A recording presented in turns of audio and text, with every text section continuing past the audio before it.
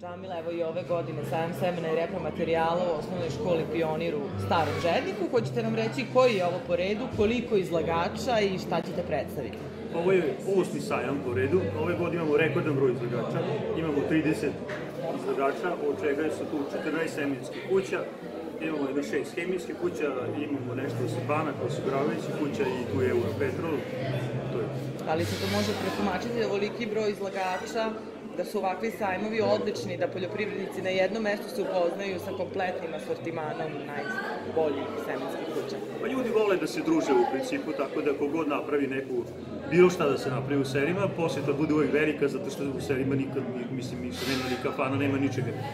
Tako da, ovaj, međutim, ovo je jedan jako dobar način da se efikasno i brzo prikupi veliki broj kvalitetnih informacija. Tako da dođe tu jako veliki broj zemljoradnika, ne samo iz starog žednika, nego dođu, ne znam, evo, iz Crvenke, iz Bajše, Lipara, Kuta, Ljutova, znači Severno Bački okrug 1, ovaj severni deo. Za danas još ne znamo, ali iskustva iz ranih godina, koliko ljudi okvirno poseti ovaj sajam? Ovi prethodni godina je bilo, ovaj, ja sam gledao te neke spiskove, znači bude nešto više od, od bliže 500 ljudi, ali da kažemo jedno 350 do 400 gazdinstava, ali onako baš ozbi, ozbiljnih, znači, znači ovaj, bude, bude tu jedno stotinak gazdinstava koji se bave amaterski, ono, u smislu da rade 15, 7, 11, 12 jutara, ja kažem to su ti mali, a ovi koji, koji rade 100 jutara, 150, 200, 300 ili malo više, znači takvih ljudi oko 350. Neko od kolega... Šta je cilj organizacije? Želite postaviti da pripremiti dobiju program i pati informaciju pred poleću setvu? Pa, moja neka ideja koju sledim, evo, znači neki 15 godina kako radim, znači kad god radimo nešto što je vezano za poljoprivredu, mi uvijek vodimo računa o tri stvari. Znači, prvo, ekonomija, druga, da mi zauzimamo neku, neku teritoriju, da mi obrađujemo neko zemljište i treća jeste neka socijala, da se pošle neka poruka ili tako nešto. Tako da ovo sam već prvo rekao, znači ovo je, znači, ovo je ekonomski deo, jako bitan, znači ovde se ljudi edukuju, znači ovaj, i to izuzetno brzo, nesvesno, znači oni idu od učenice do učenice i prikupe za jako kratko vreme, jako puno kvalitetnih stvarnih informacija koje su njim potrebne, znači već sad ili će biti potrebne za dve, tri nedelje.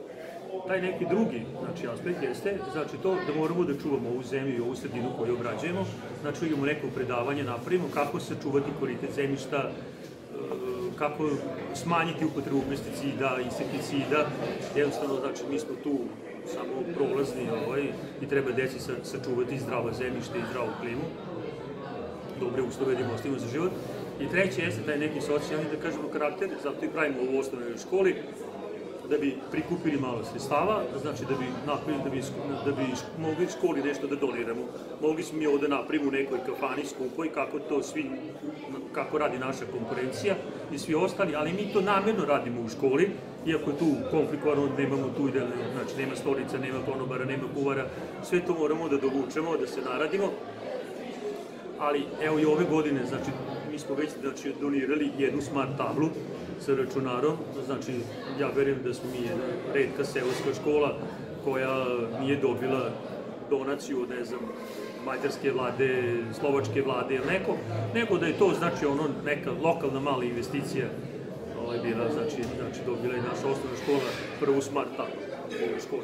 Hoće li biti i danas predavanja koje ulozi predavača i na koju temu? Biće, imat ćemo nekoliko predavača, ja ću malo da vodim program, jedan šaljivi, ovaj, pošto je prošle godine bila izuzetno rodna i uspešna i lepo se usvrnuti na prošlu godinu, znači bila jako, jako uspešna, znači možemo da se hvalimo da smo imali izuzetno visoke prinose i čak i dobre cene, tako da ovaj, tako da je zadovoljstvo veliko danas i kod zemljoradnika, za razliku od prošle godine, Biće tu iz poljoprivredne stručne službe Damir Varga, on će pričati nešto o rezultatima analiza koje je uradio, tako da će on ispričati koliko ljudi trebaju azota da bace, pozvaće ih da rade analizu, što je jako važno.